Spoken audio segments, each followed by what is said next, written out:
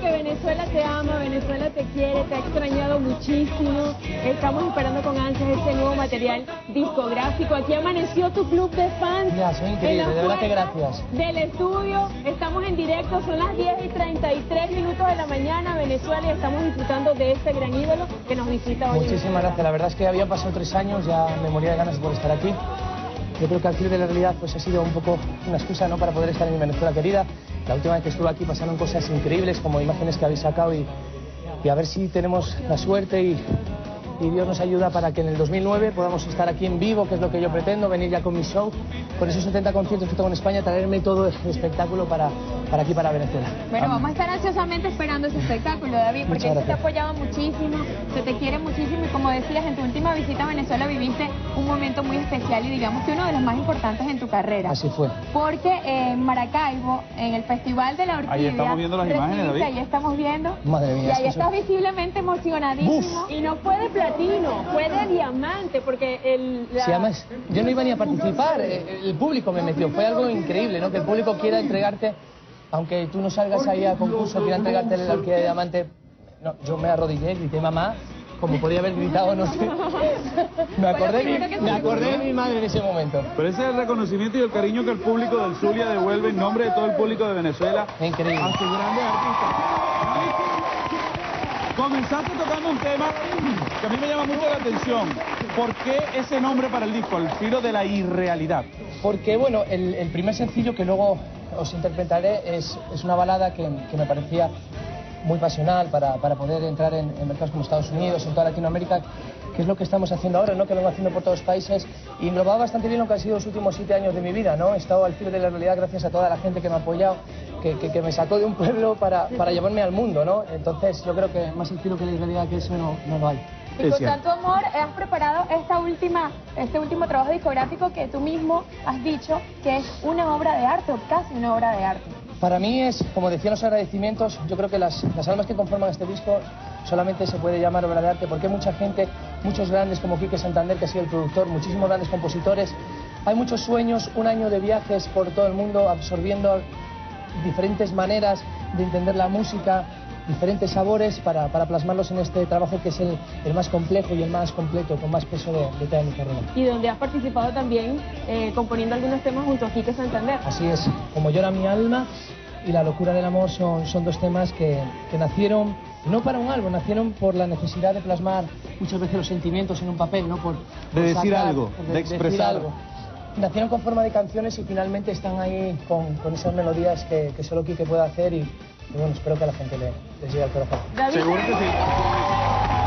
como en tu casa aquí en Venezuela. Sí, desde luego que sí.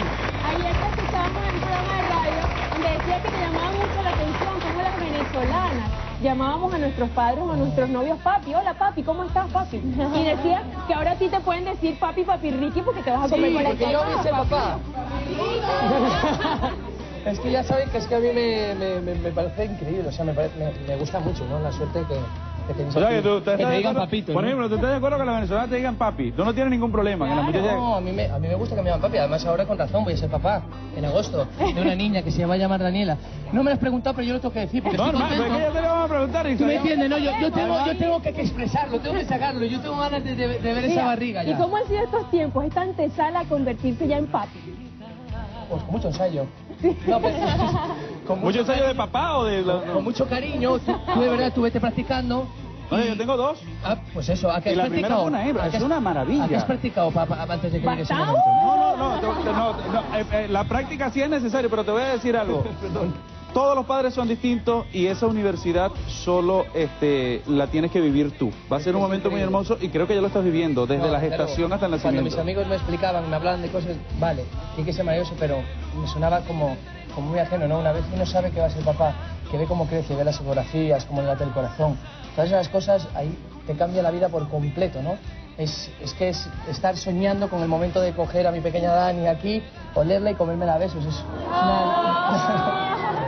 Y ha sido, David, fuente de inspiración tal vez para que te sientes a escribirle algún tema a ella para su nacimiento. Yo en cuanto le vea, ya, ya me inspira para muchísimas cosas, pero, pero quiero verle primero la cara y, ahí en ese momento pues saldrá un torrente de versos increíbles para, para esa princesa. Por ahora se come a besos a Paula, que es la que está ahí en la foto, con él, un matrimonio feliz, consolidado. ¿Cómo hacen para manejar la distancia? Sobre todo ahora que Paula debe estar tan sensible, ¿verdad? Bueno, con el es, embarazo. es importante la- el apoyo de, de tu pareja, ¿no? Cuando, cuando uno tiene que estar meses que paso fuera, ¿no? En este caso un mes, no, no más, porque, porque es necesario, yo quiero vivir todas esas cosas, cuando se mueva la barriga y todo. Pero ella como actriz que se entiende perfectamente cuál es mi profesión y sabe que me van a cuidar muy bien este club de fans, que me van a mimar sin ningún problema. Que lo van a consentir. además, Totalmente. Al muchacho le gusta bailar reggaetón, para quienes no lo sabían. Ha declarado que... Pero eso Ah, es caramba. Eso se ha hecho público, pero yo no sé dónde lo dije. Pero me, me gusta, me gusta, pero yo no soy un gran bailarín. Pero te gusta el yo, ritmo yo le, latino. Yo le, le doy ahí un poco. No, no, no. Su poquito. ¿Sabes quién es una, una, Chiqui es una bailarina de reggaetón insigne. Sí, sí, Es una de las más reconocidas del país. Y que tenemos buen reggaetón. Pues hay que rumbear, yo lo sé, hay que, pues hay que rumbear y darle ahí con el reggaetón, ¿o qué? Pero señor musicalizador, regálale un buen reggaetón a este muchacho. no. Va-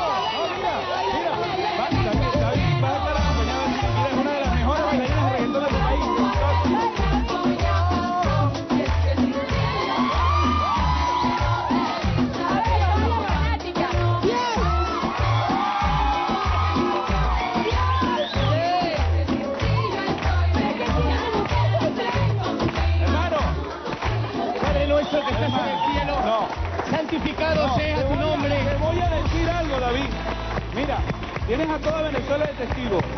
Por acá han pasado cantantes venezolanos, puertorriqueños, de todas las nacionalidades, reggaetoneros de la mejor clase y ninguno había hecho bailar a esta mujer como le hiciste bailar tú. Tenía hoy. que venir desde De, España. de verdad, hermano, me quito el sombrero. ¡Qué maravilla! Que viva el sandungueo, ¿verdad? Ahí, ahí está. David, pero debes buen bailarín también en música flamenca o tu música. Bueno, la música flamenca exactamente no, porque flamenco nace en el, sur de España. Yo del norte, yo de flamenco no sé nada, pero sí que es cierto que, mezclo, en, muchas de mis canciones existe esa guitarra española, que eso sí que es a nivel nacional, ¿no? He tenido la suerte de que colaborara conmigo Rayito, que, es- que desde que fue el niño prodigio, ahora es el hombre prodigio más, es increíble cómo, toca la guitarra y cómo compone. Y hay mucha fusión y hay mucha variedad en estos, temas, siempre están impregnados ahí de mi música. Qué bien. Bueno, ha cambiado mucho ese David, esa música que nació desde Operación Triunfo hasta ahora, hablando de, la- de- de lo que contiene este nuevo disco. Sí, porque uno se va haciendo más músico, uno va, estudiando, va preparándose y como decía, en armonías, en melodías, eh, los discos se van volviendo mucho más complejos, uno tiene más necesidades, ¿no? Y entonces todo tiene, todo tiene una relevancia mayor porque las canciones son mejores, porque están hechas de mejor manera. Uno al principio no sabe cuál, qué sonido quiere, ¿no? Y de repente luego ya cuando uno va entendiendo se vuelve una especie de científico loco y va investigando y, Ya estás más y cogiendo, cogiendo cosas diferentes, perdón por lo de coger, eh, y, y- y va haciendo uno un disco pues, pues más sabroso, con muchos más colores. Como este tema que vamos a escuchar ahora. Al filo de la irrealidad, que es el que da nombre, es la balada que me da muchísimas alegrías, que espero que os guste y, que está cantado con el alma como, como, como todo lo que hago, que está cantado desde aquí dentro. Pero te quedas toda la mañana con nosotros, ¿no? Toda la ¿Crees mañanita. Que te vas a escapar de aquí. No, no, a mí me dijeron que me invitaban a comer y todo. Claro que No, no, no, todo. no. Mira, pero ¿por qué no preguntamos a propósito de eso?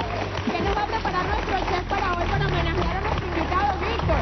Hola, buenos días, Víctor. todo un gusto tener aquí a tan buen invitado que viene desde. España, la tierra de mi madre, país que disfruto muchísimo. El día de hoy hicimos, justamente para recibirte, David, una receta que son pequeños, que es un bocadillo, un montadito, bocadillo que es, eh, está relleno, es masa está- y es un queso relleno con su masa, pero lo, lo especial de esta receta va a ser su salsa. Es una salsa de papelón con todo el sabor de Venezuela. Papelón, cilantro, ají picante, porque en la vida hace falta un poco de picante, y todo este ají dulce que está acá. Para que lo puedas probar y te lleves un muy buen recuerdo acá de portada gastronómica ¿Te también. gustan todos esos ingredientes, David? Me entusiasman. ¿Sí? Ya estaremos por allá, Víctor. No, no, y Víctor además cocina es pana. O sea, salú- salúdame al peluche. Qué grande Le eres, dicen el amigo. príncipe, Qué David. maravilla. Príncipe. Muy bien, muy bien, David, muy bien. Esa es la actitud, David. Qué maravilla, Esa es la hermano. actitud. Mira, David, pero Bonito también- momento, Víctor. Ya vamos hermoso, contigo. hermoso momento. Nuestro programa tiene una particularidad y es que tenemos una mensajería que es súper regalona. Nuestro programa le da la oportunidad a todos los televidentes de que envíen un mensaje. Todos los días hay un personaje incógnito, Sí. pero hoy tú te vas a convertir en el cómplice de toda Venezuela y nos vas a dar las pistas de ese personaje. Dale. Señor director, nos muestra el personaje Por incógnito favor, de hoy. nuestro A ver, personaje David. de hoy. Estoy segura que es una de sus Ahí referencias musicales. Que lo admira. A ver, acércate. Ah, vale, vale, ya está. Ya, Ya sabes. Soy un poco miope. ya sabes quién Ya, ya, ya he hecho una confesión. No, miope él o tú. Yo, Ah, ok. No, por eso te A ver, una pista, David, para ayudar a nuestro público. una pista es, es la voz que, que sigue a Frank Sinatra. Para mí, para mí. Por ejemplo, bien. Conocido sí. como Es de mexicano. Ajá. Exacto, es mexicano.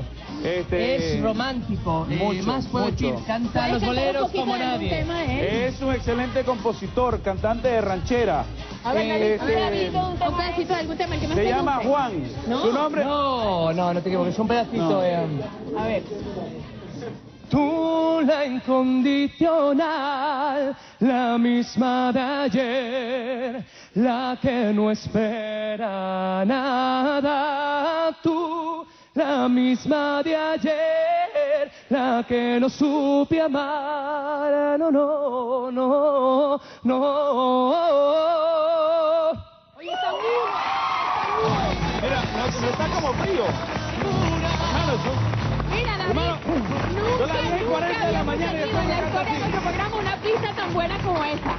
Si usted no adivinó después Yo, de quería, esto... yo quería que lo tuvieran claro. David, yo lo voy a decir. Si usted dice hoy al mediodía que es Juan Gabriel.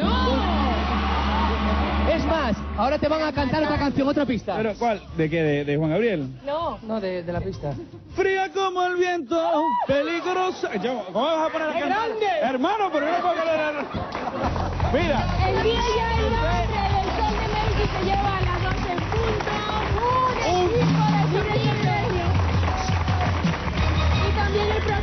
se pasó esa usted pena. se pone las pilas y ¿cómo- no pierde tiempo, ¿Cómo se podría ganar un juego de cuarto, como usted lo quiera, para niños, para niñas, para adultos, litera, como más le guste, junto al aire acondicionado o la motocicleta. Así que la comienza ya. Bueno, David, ahora nos vamos a transportar al filo de la irrealidad. Así. Con toda esa pasión, con todo ese sentimiento que solamente le puede imprimir este astro de la música que hoy nos acompaña en portadas. El aplauso para David Bustamante.